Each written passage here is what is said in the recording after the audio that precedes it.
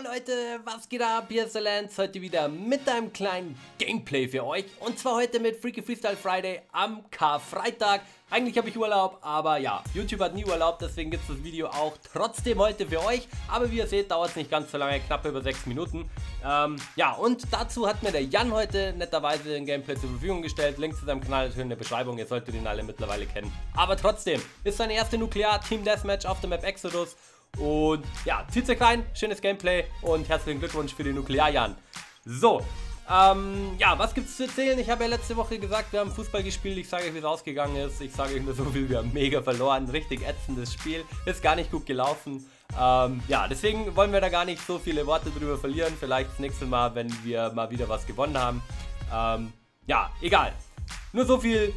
Der Platz war scheiße, Schiri war scheiße, die, das Flutlicht war scheiße, die Gegner waren scheiße und ja, so, das sollten genug Ausreden sein für die schlechte Leistung. Und ja, mehr gibt es nicht zu sagen. Ähm, wie ihr sehen könnt, der Bart wächst immer noch fleißig weiter. Bin gespannt, wie lange ich es noch aushalte. Mittlerweile ist er schon, ja, ziemlich lange. Aber egal. So, ähm, sonst war ich noch, am Sonntag war ich auf einer Kinopremiere von Eddie the Eagle, war ziemlich geil, habt ihr die Hauptdarsteller getroffen, inklusive Hugh Jackman und so. Ähm, war geil mal zu sehen, waren noch sonst noch ein paar andere Promis da und ähm, ja, hat auf jeden Fall Spaß gemacht. Und sonst gibt's noch, ähm, Bayern hat leider auch verloren, ähm, auswärts in Istanbul. Ähm, ja, haben am Ende leider zwei, drei Punkte gefehlt fürs Weiterkommen ins Halbfinale. Aber ja, kann man nichts machen. Galatasaray eine sehr starke Mannschaft und ich denke sogar, die werden das dieses Mal packen und vielleicht sogar den Titel holen. Und ja, dann kann man nicht so traurig sein, gegen den Titelgewinner ähm, dann ausgeschieden zu sein. Aber naja, trotzdem schade. Ähm, vielleicht nächstes Jahr und vielleicht klappt es ja mit der deutschen Meisterschaft. Mal gucken. Ich halte euch da auf jeden Fall auf dem Laufenden, ob es euch interessiert oder nicht. So, und da es wie gesagt nicht so lange dauern soll, würde ich sagen, fangen wir einfach gleich mal an. Ich habe mir heute nur drei Fragen rausgesucht und Frage Nummer 1. Von Munkel, spielst du Basketball und oder Fußball auch in Real Life oder bist du nur Zuschauer? Ähm, ja, die Frage habe ich genommen, ganz lustig, weil einige in die Kommentare geschrieben haben, was geht, du und Sport und sowas. Ähm, ganz ehrlich, sehe ich so unsportlich aus? Äh, äh, keine Ahnung, nee, ähm, Stimmt sogar, ich mache nicht mehr so viel Sport wie früher. Ähm, bedingt mit dem Alter, Arbeit, Zeit, YouTube und so weiter, wisst ihr ja Bescheid. Auf jeden Fall, ähm, ja, würde ich aber behaupten, bin ich immer noch relativ sportlich. War früher sehr, sehr sportlich. Ähm, Habe auch ja, relativ erfolgreich, sagen wir mal, Fußball gespielt, ähm, Tennis gespielt und Basketball ähm, freizeitmäßiger. Ich gehe auch immer noch gern mal im Sommer auf den Freiplatz, ein paar Körbe werfen, ein paar One-on-Ones, Two-on-Twos oder sowas zu zocken. Ähm, macht mir riesen Spaß und mache ich auch sehr, sehr gerne. So, Nächste Frage. Icarus fragt, Log war auch mal cool, äh, Vlog war auch mal cool. Vielen Dank, Digga, freut mich, wenn euch Abwechslung gefällt. Spielst du eigentlich noch Destiny und erwartest oder hoffst du auf etwas Besonderes im neu angekündigten April-Update? Mach weiter so. Ähm, das Update ist ja, glaube ich, oder die Inhalte sind ja die Tage jetzt bekannt gegeben worden und ich habe eigentlich noch auf einen Raid gehofft, aber den scheint es jetzt leider nicht zu geben. Es gibt ein paar neue Story-Missionen, es gibt ein paar neue Ausrüstungsgegenstände und ähm, ich glaube neues Level Cap und neue Arena und sowas.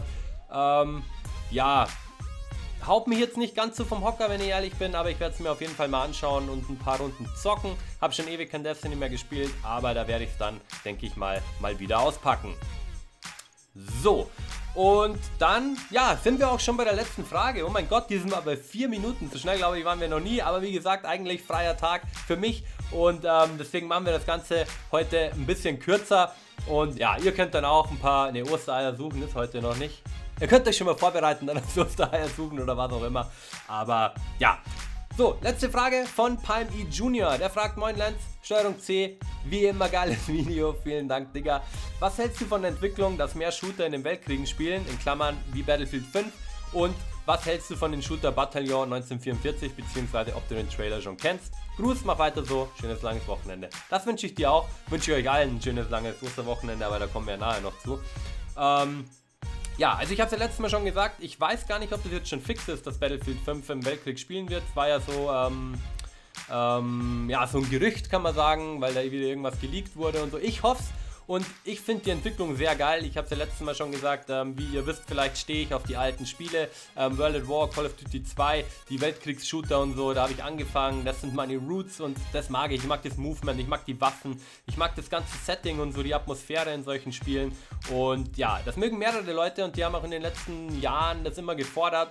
Und aber da ihr wisst, dass ein Spiel nicht von einem Tag auf den anderen umgesetzt wird, sondern dass ein Entwicklungsprozess ist, der möglicherweise auch ein paar Jahre dauert, kommen die Spiele hoffentlich jetzt.